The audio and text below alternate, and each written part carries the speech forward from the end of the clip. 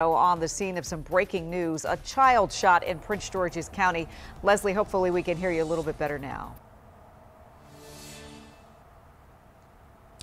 Yeah, sorry about that earlier. We're uh, told right now Prince George's County Police tells us uh, that child was rushed to the hospital uh, in critical condition at this hour with a gunshot wound. This all happened uh, here just over my shoulder in the 600 block of Brook Edge Court in Lake Arbor. The call coming in just before 4 p.m. We arrived here on scene about an hour ago as police were out here talking to witnesses and trying to piece all of this together.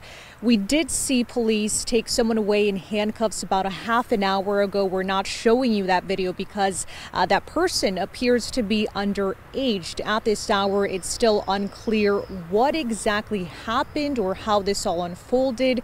Neighbors we've been talking to here off camera say they're shocked to hear about this incident.